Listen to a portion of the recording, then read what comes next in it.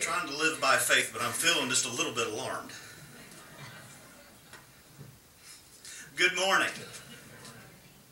It is great to see each of you out this morning. It's great to be out. And the, this morning I chose a. Chose to turn the mic on first.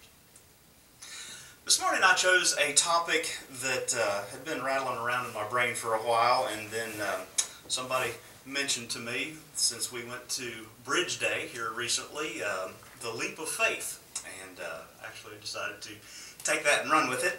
So um, it also ties in with a video that I once watched. Uh, it was a gentleman by the name of Louie Giglio. You've heard me mention him before.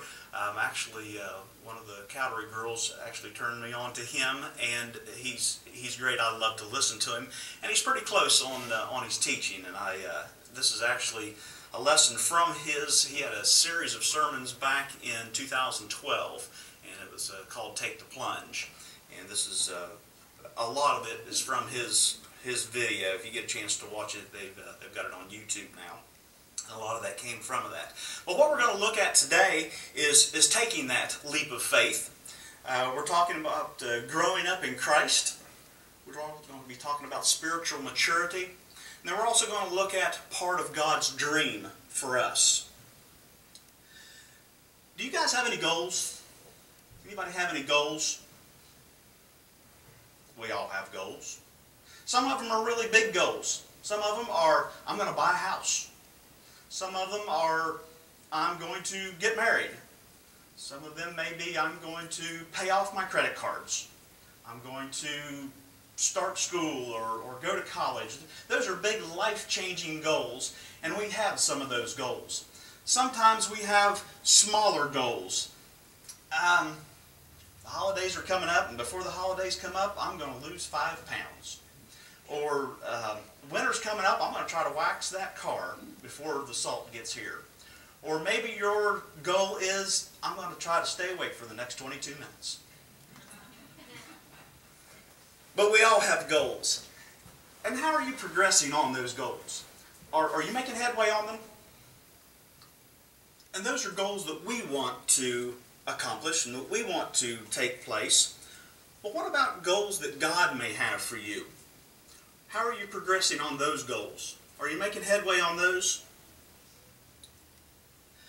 Jerry read to us from Ephesians, and I'd like to hit just a few of those verses again. So Ephesians in the fourth chapter, starting in verse 11. So Christ himself gave the apostles, the prophets, the evangelists, the pastors, and teachers to equip his people for works of service, so that the body of Christ might be built up, until we reach all unity in the faith and the knowledge of the Son of God and become mature attaining the whole measure of the fullness of Christ. This is a goal that God wants from us. God wants us to become mature. And He wants us to carry that out into the world. He wants us to reflect to the world. He wants us to show the world the full measure of Christ living in us.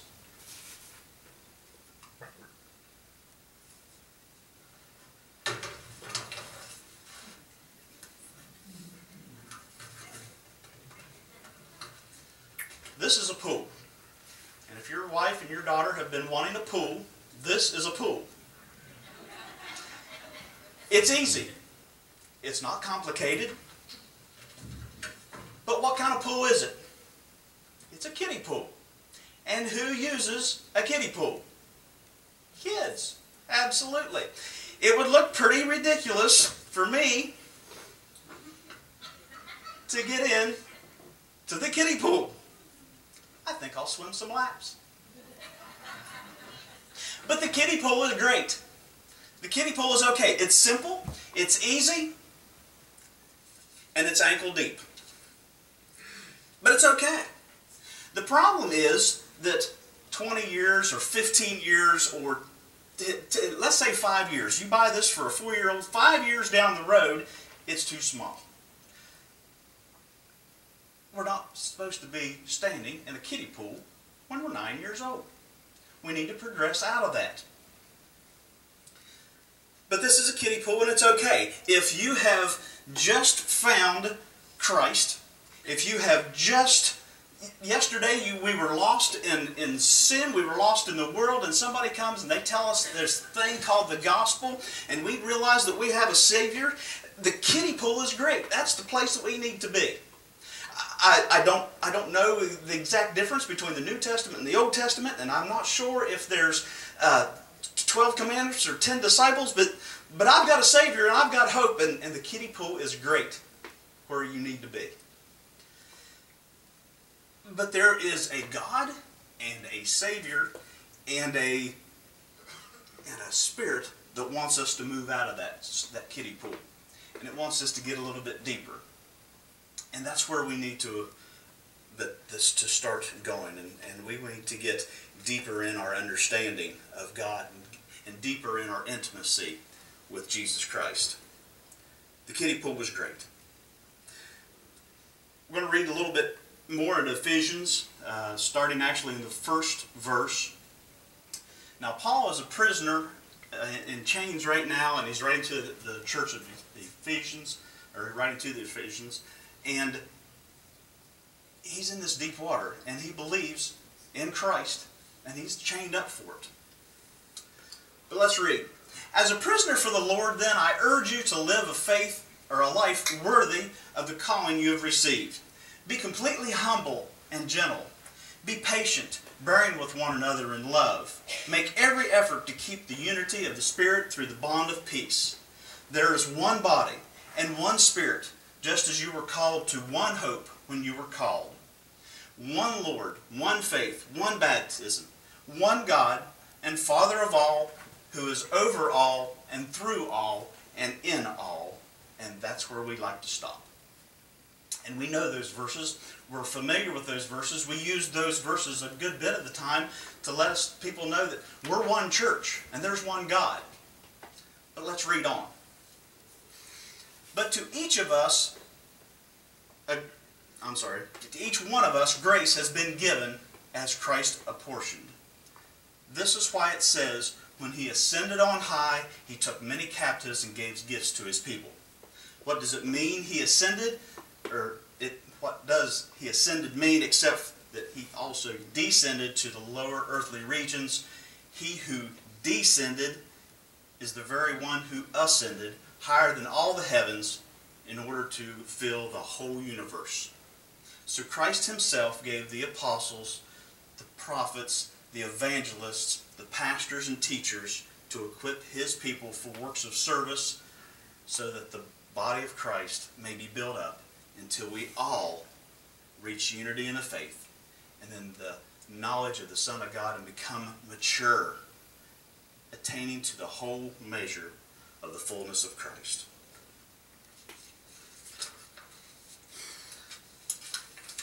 Christ took the plunge. He went all in. That's who Christ was. He came down from heaven to the very earth that he made, lived, lived a, a life and then he took the plunge into death.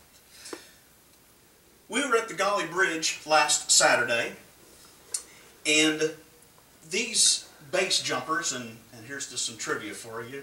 Base, I always wondered what that meant, base jumping. Figured if, if you were on the base, you couldn't jump. The base was the base.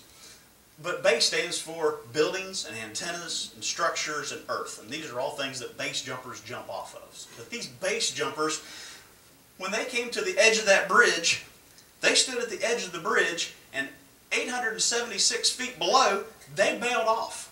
They, they didn't hang on to the side and dangle off to the side or, or they, they didn't like crawl off the side. They jumped. They were all in. They bailed off the side. And yes, it was risky. And yes, there was a little bit of uncertainty. They knew that 876 feet down below, they were going to stop. They just didn't know how fast. But they jumped. They jumped and they were all in just as Jesus was all in. He plunged into humanity. Jesus plunged into this earth that he created. Jesus plunged into flesh and blood. Jesus plunged into history. Jesus plunged into our hearts. And Jesus plunged into the cross. Jesus didn't just come tippy-toeing up to Golgotha and say, oh, let's take a couple splinters in each hand and that'll be good. Nah, Jesus went all in. He gave everything he had, which was his life. That's all he had. He couldn't give any more. Jesus gave his entire life. He plunged. He was all in. And this one that we know is Jesus that descended from heaven, took the plunge, gave us his all, and then ascended back to heaven, has given gifts to us.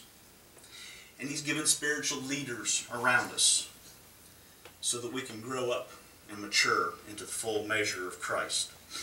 Not so we can spend our entire life waiting around in this kiddie pool. Jesus says, This isn't the life that I wanted for you. Jesus says, I'm all in. I took the plunge. I'm all in.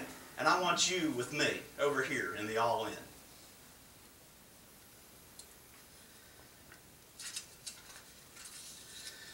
Now here's some facts about the kiddie pool. In the kiddie pool, we want to be continually fed. In the kiddie pool, we've got the kids and we feed the kids. And that's the way we want it. I think that's the way Jesus wants us. He wants us to do with our kids. He wants us to start feeding the kids. And we want it that way because we want to have control over what we feed our kids. There's a lot of people out there in the world that would like to feed our kids some stuff that we don't want them to be fed. We want to feed our kids. And we want them to learn what's good for us.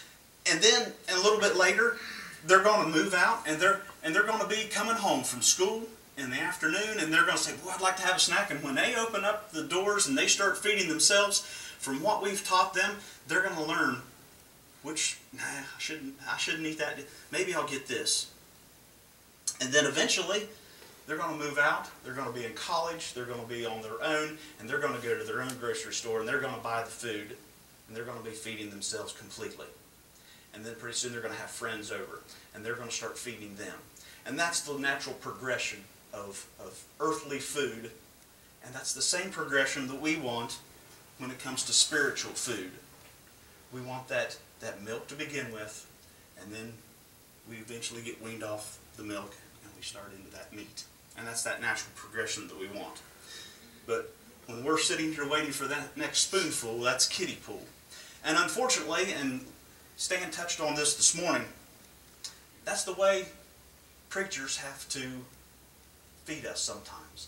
They have to they have to jazz it up and sweeten it up and, and make it funny and, and, and just enough for us to open up and take that one more spoonful. And it's sad that, that, that we can't uh, feed ourselves more. The other problem with the kiddie pool is it's all about me. When we're standing in the kiddie pool, it's all about me. It's, well, I like being a Christian because, well, I love God and, and I love the things that God can do for me. And I, I love God and, and I like going to church because I feel good when I'm around other Christians. And, and I like I like going to church and, and, I, and I love all this stuff because I just feel better, like I'm, I'm a better me. And that's okay. When, when every one of us first became Christians, that's what we wanted. It, it, was, it was all about me, and that's, that's what enticed us. We wanted that. But there comes a time when eventually we realize that it's not about me anymore, and it's about me uplifting Christ's name. And it's about me glorifying Him and sharing Him with others. That's taking the plunge. Now, most of us like being in the kiddie pool because that means I'm in charge. I'm in control. I can control when I get in. I can control when I get out. I really don't make that big a splash when I get in and out of this kiddie pool. It's easy. There's not a lot of commitment. But we got to figure out that we were never in control to begin with. This just now dawned on me, and maybe it's dawned on you before, but I absolutely had no control when I came to be in this world, and neither did you. You had absolutely no say in whether you were born into this world, onto this planet, Earth. No control. So at what point in our life did we decide, I'm going to be in control of my life? We never were. And why would you want to be? Why would you not want God to be in control? That one that knows everything about everything, why wouldn't you want him to be in control of everything? That with everything else in our lives. If our kids get sick, we want them to be to the best pediatrician that we can take them to. If I have a heart attack, I want the best pilot flying the best airplane with the best technology to take me to the best hospital, and I want the best cardiologist there working on me because life's important. If I have to go to court, I want one of the best lawyers sitting beside of me. In our spiritual life, why wouldn't we want the great physician to take care of us? Why wouldn't we want the one that knows us better than anybody else to be our advocate?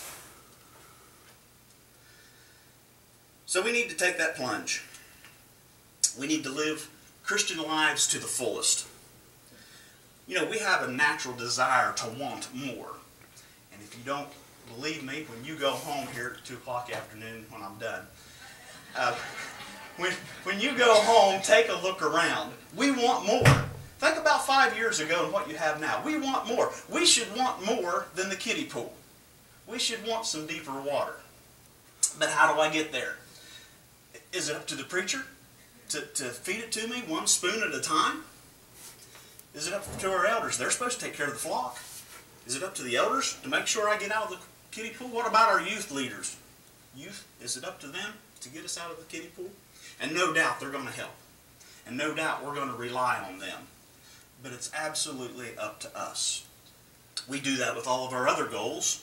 If we want to get out of credit card debt, we don't just sit there in the living room and think, well, I'd like to get out of credit card debt and I'll watch a few more commercials of people trying to sell me stuff and just hopes that the credit card fairy just comes in and takes all my debt away. If we want a new car, we don't drive down to the car lot and drive around looking at new cars one day out of the week and let the salesman talk to us a little bit and just expect a car to magically appear in our driveway. It's not the way it works. We have to work for it. We have to do our own part in this. Albert Einstein is given credit with saying this. I don't know exactly who came up with it. I did some research on it trying to find out exactly where it came from, and I never did really come to a concrete conclusion.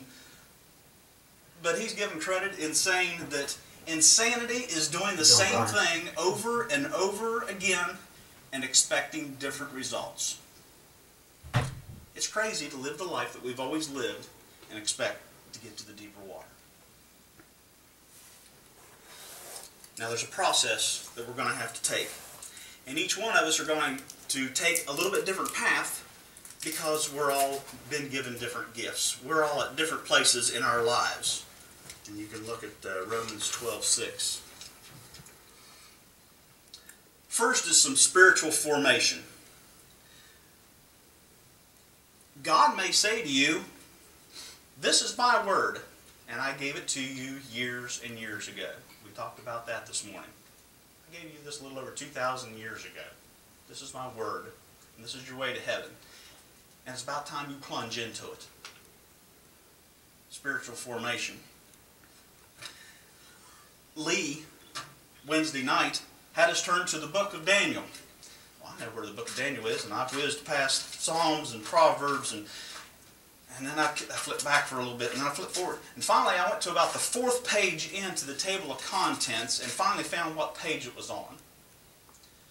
Folks, I've been a Christian for 35 years. There is absolutely no good reason that I'm still ankle deep in the Old Testament.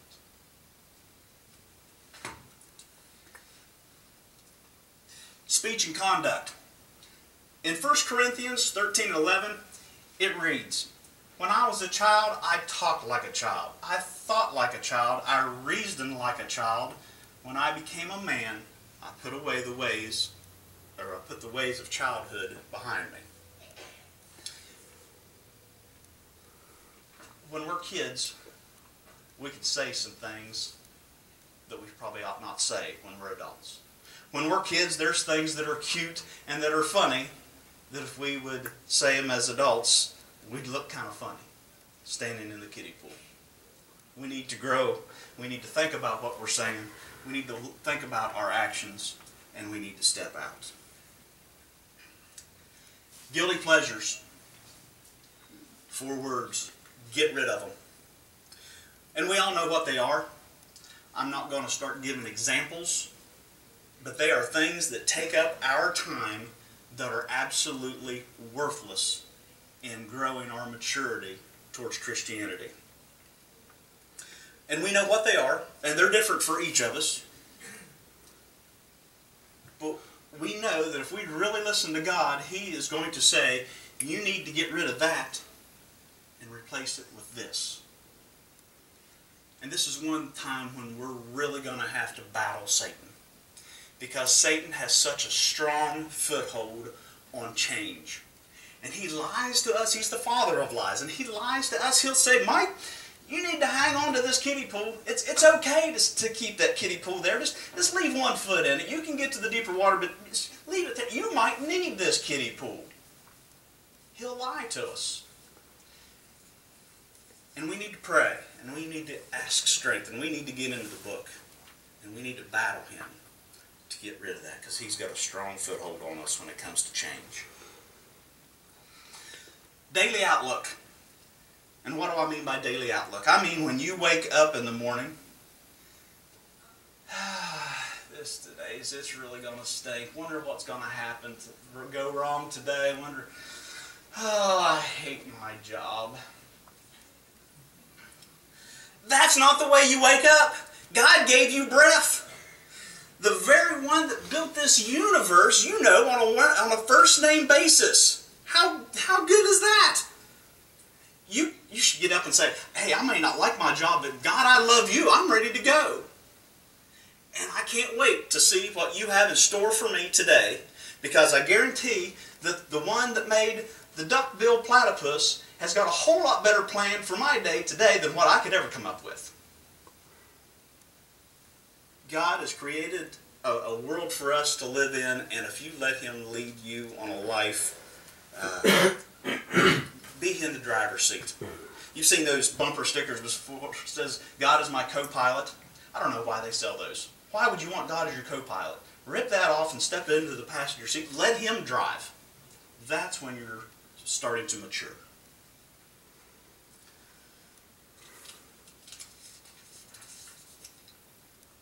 Giving. God may say to you, it's time you take your time and your talents and you start giving. Because giving is a really big key to tell you where maturity is. Because in the kiddie pool, it's all about me. As you mature and you get to that deep end, it's all about giving to others. It's all about feeding others. And it's all about giving the glory to God. There's no me left.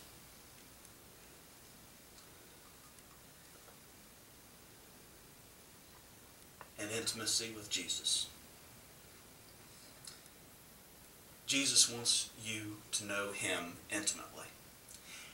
He doesn't want you to recognize him as you pass him on the street.